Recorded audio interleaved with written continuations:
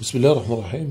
النهاردة حلقتنا عن عالم كبير من علماء الأزهر الشريف مجدد وصفه البعض أنه مجدد في الفكر الإسلامي ساهم في انتشار الثقافة الإسلامية الوسطية المعتدلة ونشر المفاهيم السليمة بين عامة المسلمين في أرجاء الوطن العربي هو أشهر مفسر للقرآن الكريم في العصر الحديث.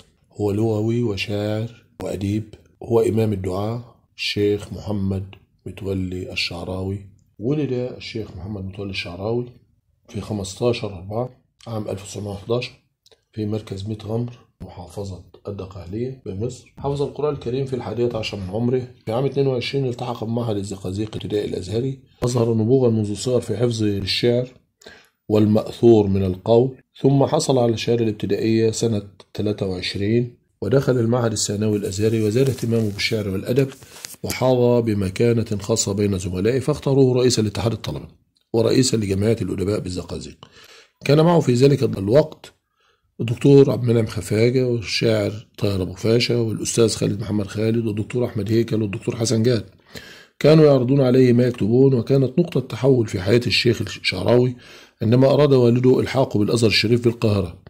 كان الشيخ الشعراوي يود أن يبقى مع إخوته لزراعة الأرض لكن إصرار الوالد دفعه لاصطحابه إلى القاهرة ودفع المصروفات وتجهيز المكان للسكن.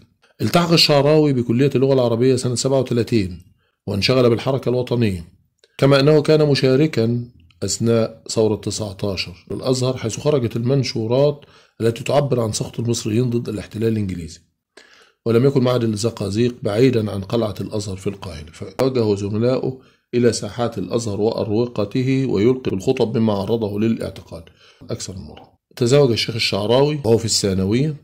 تزوج الشيخ الشعراوي وهو في الثانوية بناء على رغبة والده الذي اختار له زوجة ووافق الشيخ على اختياره لينجب منها ثلاثة أولاد وبنتين.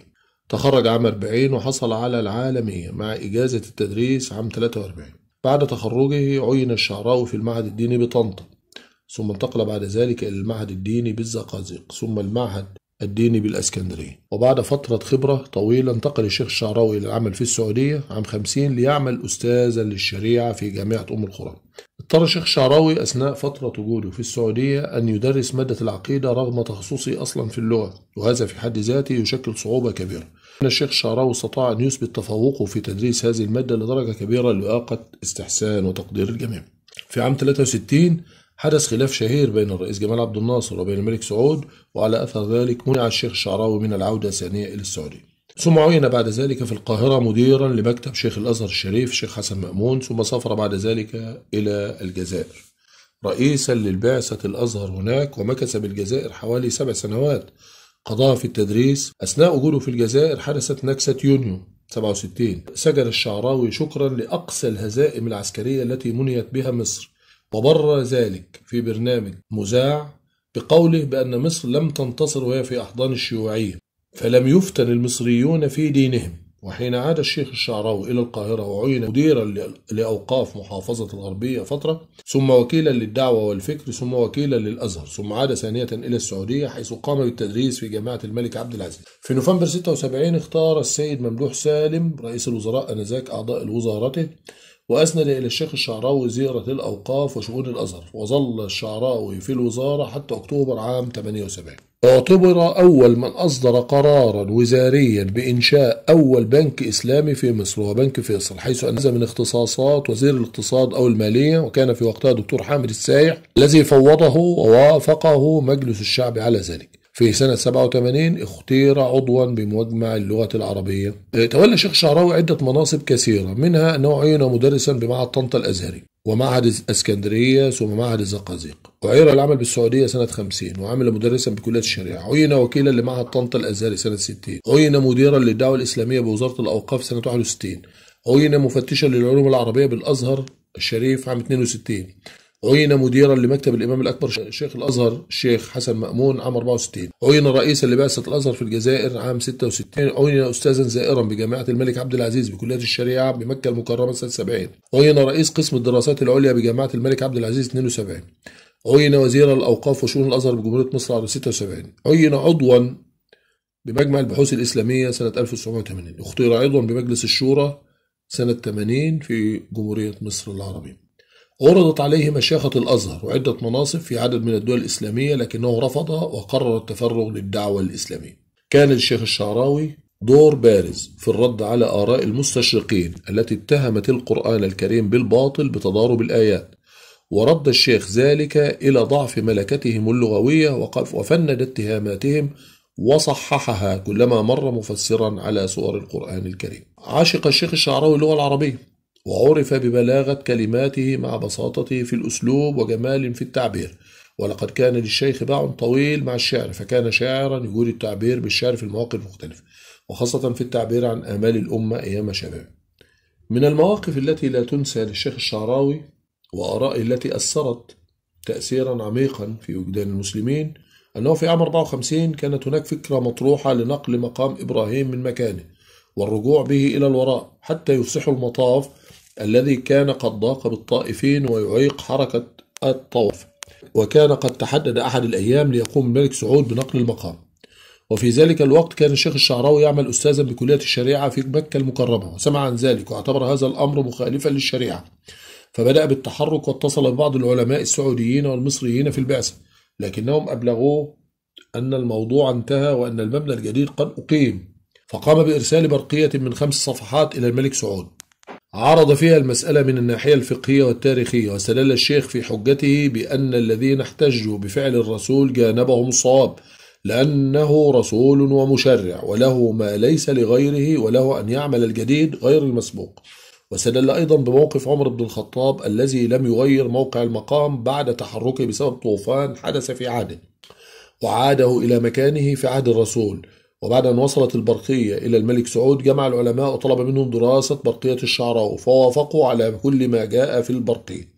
فأصدر الملك قرارا بعدم نقل المقام وأمر الملك بدراسة مقترحات الشعراوي لتوسعة المطاف حيث اقترح الشيخ أن يوضع الحجر في قبة صغيرة من الزجاج غير القابل للكسر بدلا من المقام القديم الذي كان عبارة عن بناء كبير يضيق على الطائفين. أول بروز للشيخ محمد متولي الشعراوي على التلفزيون المصري كان سنة 1973 في برنامج نور على نور. كان مقدمة حول التفسير ثم شرع في تفسير سورة الفاتحة وانتهى عند أواخر سورة الممتحنة وأوائل سورة الصف.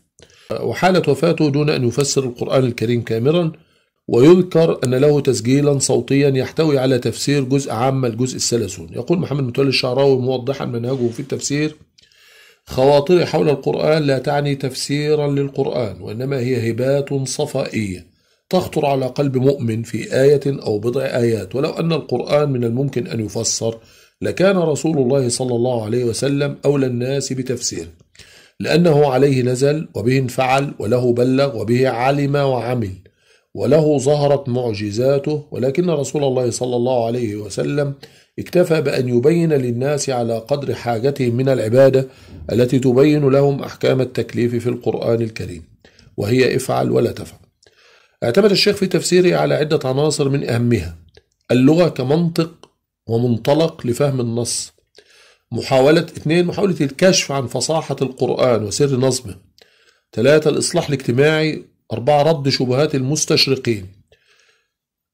خمسة يذكر أحيانا تجاربه الشخصية من واقع الحياة. ستة المزاوجة بين العمق والبساطة وذلك من خلال اللهجة المصرية الدارجة. سبعة ضرب المثل وحسن تصويره. ثمانية الاستطراد الموضوعي. تسعة النفس الصوفي. عشرة الأسلوب المنطقي الجدلي. 11 في الأجزاء الأخيرة من تفسيره آثر الاختصار بسبب مرضه. حتى يتمكن من إكمال خواطره. ثم عاد واعتذر على شاشات التلفاز عن اختصاره. واستغفر الله عن إيجازه في هذه المعاني حرصا منه على أن يتمم بحول الله تفسير كتاب الله في حياته وأنه عوتب في ذلك وقيل له الموت له أجل ورزقك من الله له أجل. تم تصوير قصة حياته في مسلسل تلفزيوني بعنوان إمام الدعاء عام 2003 واستعرض العمل السيرة الذاتية للشيخ. الشيخ الشعراوي عدد كبير من المؤلفات قام عدد من محبيه بجمعها وإعدادها للنشر. أشهر هذه المؤلفات وأعظمها هو تفسير الشعراوي القرآن الكريم. ومن ضمن هذه المؤلفات خواطر الشعراوي المنتخب في تفسير القرآن الكريم خواطر قرآنية معجزة القرآن من فيض القرآن نظرات في القرآن الإسراء والمعراج الأدلة المادية على وجود الله الإسلام والفكر المعاصر الإنسان الكامل محمد صلى الله عليه وسلم الأحاديث القدسية الآيات الكونية ودلالتها على وجود الله تعالى البعث والميزان والجزاء التوبة الجنة وعد الصدق الجهاد في الإسلام أضواء حول اسم الله الأعظم الحج الأكبر حكم أسرار عبادات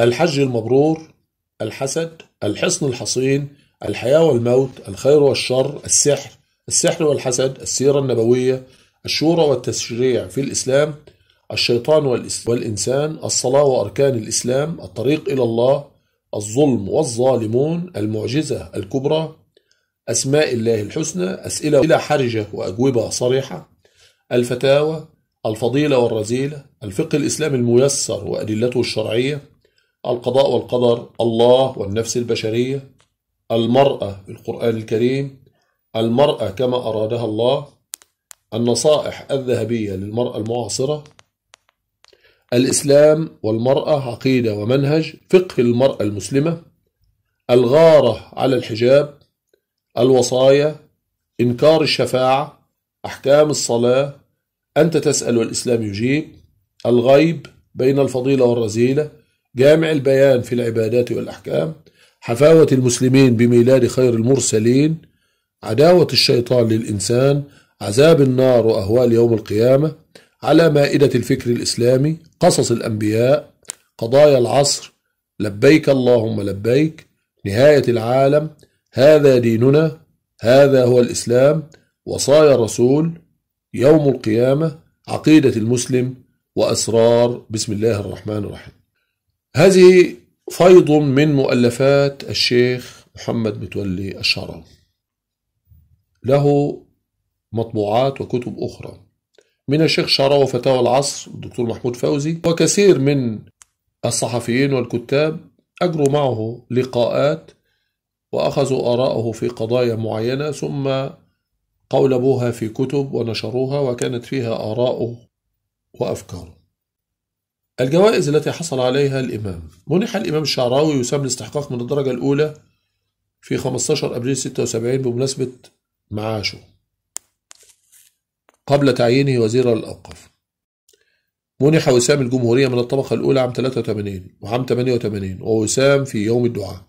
حصل على الدكتوراه الفخرية في الآداب من جامعتي المنصورة والمنوفية.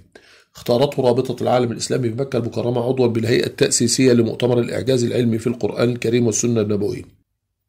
جعلته محافظة محافظة الدقهلية شخصية المهرجان الثقافي العام 89 اختارته جائزة دبي الدولية للقرآن الكريم كشخصية العام الإسلامي في دورتها الأولى عام 18 عام 1418 هجري الموافق 1998 توفي الشيخ الشعراوي عن عمر يناهز السابعة والثمانين عاما في 17 يونيو عام 1998 وهو دفن في مسقط رأسه وقد أقيمت له جنازة شعبية مهيبة.